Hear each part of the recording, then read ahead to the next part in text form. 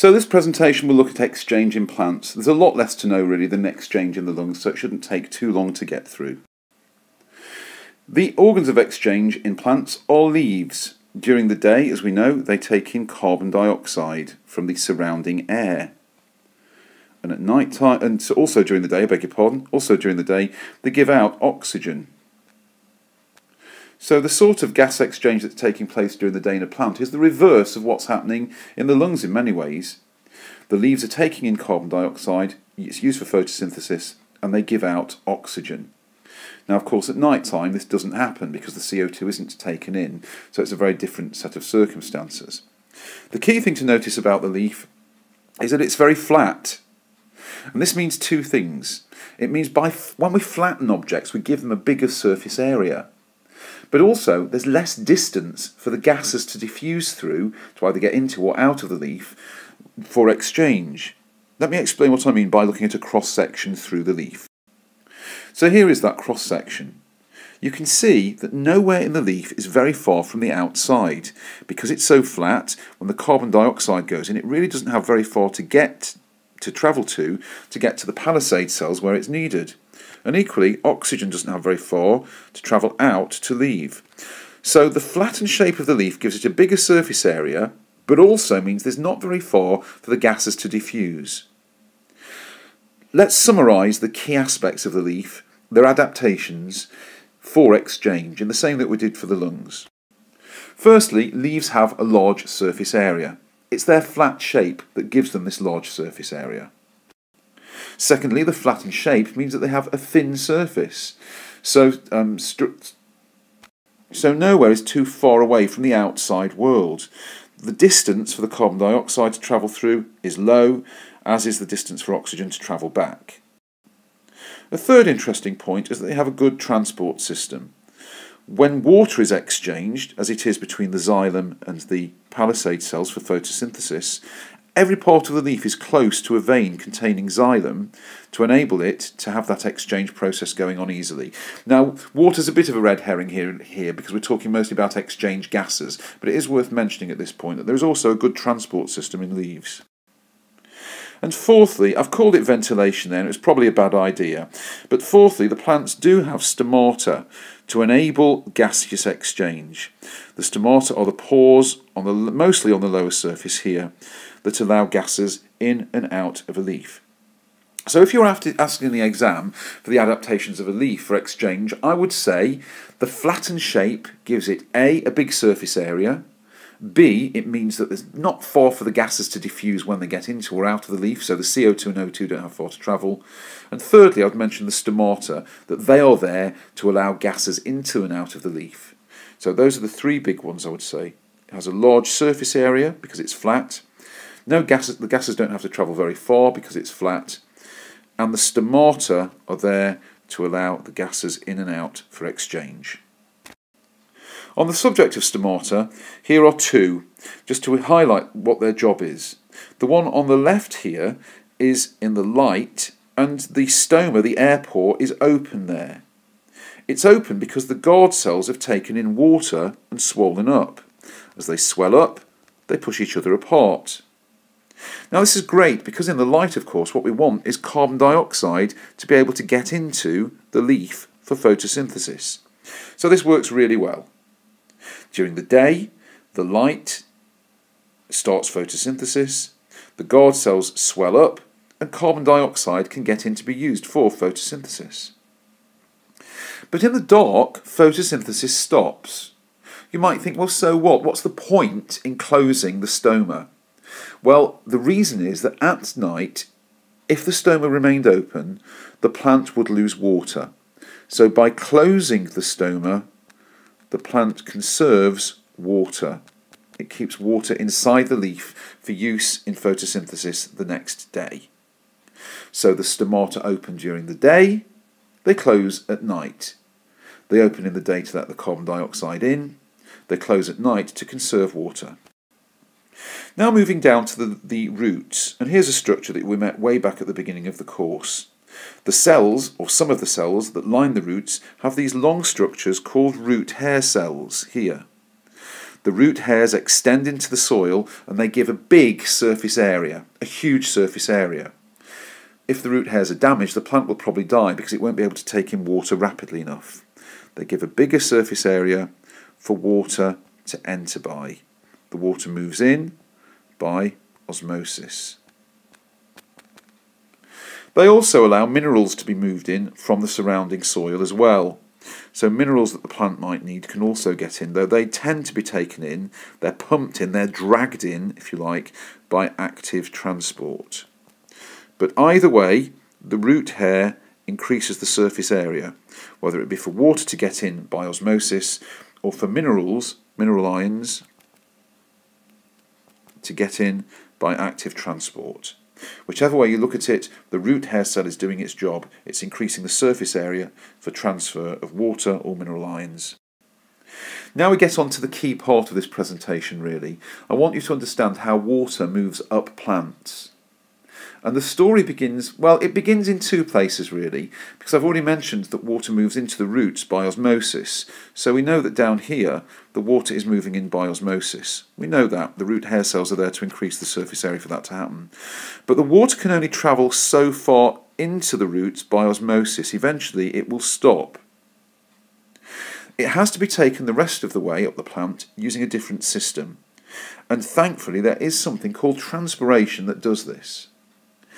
In the leaves, water is constantly lost during the day through the stomata, like this. The water is moving out of the stomata. Now, the evaporation of water from leaves is called transpiration. That's what that word means. Transpiration is the evaporation of water from leaves. As the water evaporates, it pulls more water behind it. In the same way that a siphon works, as one water molecule is lost, it drags another one behind it. So the water is dragged up the stem in the airtight xylem vessels by the water that's evaporating. It's a really weird concept, I know, but as the water evaporates into the air, it pulls more water up the xylem behind it. It's important that the xylem tubes are airtight, otherwise this system breaks down. So transpiration is the evaporation of water from leaves. As the water evaporates, it pulls more behind it up the xylem vessels in the stem. It sounds complicated, but it's actually a very simple idea, and it serves plants well. Even the tallest trees drag their water up by this cohesion the, the sticking together of the water molecules in the xylem vessels. The flow of water up the xylem, the constant flow of water up the leaf, is called the transpiration stream. So what we're seeing here is the transpiration stream as the water constantly moves up. It evaporates into the air, pulls more water up behind it like that, the transpiration stream. Now we can observe transpiration using this device. It's called a potometer. It looks complicated, but the idea is very simple.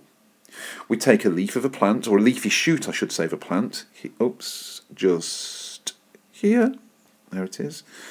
And um, we put that into this sort of well of water. It has to be cut underwater, otherwise air gets into the xylem and the whole process stops. As the water evaporates from the leaves, in transpiration, it draws more water into the stem. The water is pulled along. And by monitoring what this air bubble does here, we can see how quickly, let's do a white air bubble, shall we? Here we go, see if I can. As the air bubble moves along, like this, you can see how transpiration is progressing. Eventually it gets to there and you undo this little reservoir here to reset the air bubble back to the beginning again. But we can see transpiration at work. As the water evaporates from the leaves, it pulls up more water from the potometer, the air bubble travels, and we can see how quickly transpiration is occurring by how rapidly that air bubble moves. It's a simple idea. What can we do to increase the rate of transpiration? Well, we can blow air across the leaf. If we were to, to put a fan in this and blow air across it, that would speed it up. So air currents speed up transpiration. The bubble would move faster. We could also warm up the surroundings. In warmer temperatures, the bubble moves faster because water evaporates from the leaves more quickly. We can also lower humidity. If we dry out the air around the plant, then again it loses more water.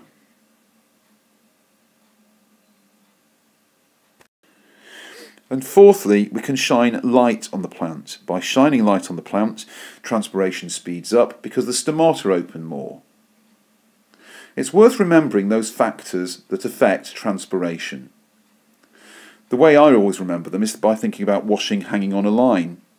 These three definitely relate to that because on, on good days for drying your washing, it's windy, it's warm, and it's a dry day.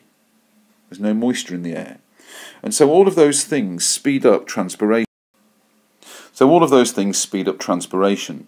Light is a little bit harder to explain. Of course, shining a light on your washing doesn't make much difference, but it does affect transpiration because it opens the stomata.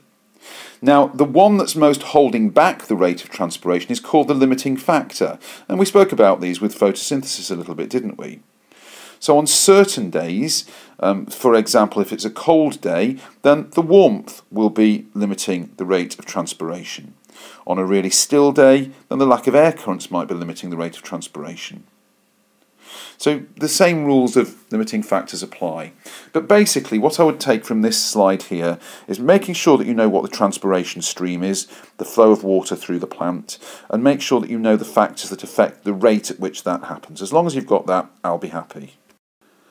Now I've mentioned already that stomata close during the night to conserve water, and you could do with knowing how else the leaf is adapted to restrict the loss of water.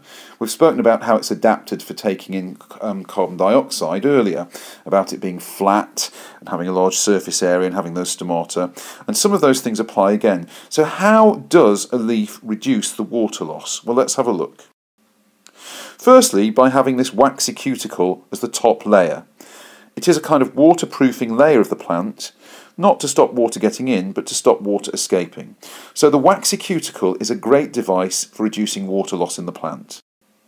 Secondly, by having stomata that can close, we can limit the amount of water loss during the night. So a waxy cuticle and the fact that we can close stomata are both important.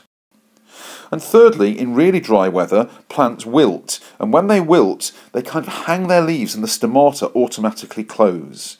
So three ways that plants reduce water loss. By having a waxy cuticle on their top surface, by having stomata that can be closed, and by wilting in really dry weather.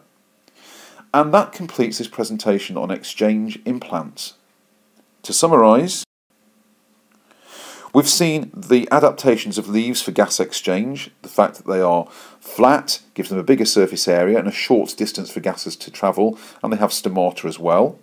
We've spoken a bit about the importance of stomata and how the fact they can close at night to conserve water. We've looked at root hair cells and the importance of them, their huge surface area in taking in water by osmosis and minerals by active uptake. We've defined transpiration as the loss of water from leaves, the evaporation of water from leaves, and we've spoken about the factors that affect transpiration warmth, dry air, air currents, and light intensity. And that completes this short presentation on exchanging plants. Thank you for watching. I'll see you next time.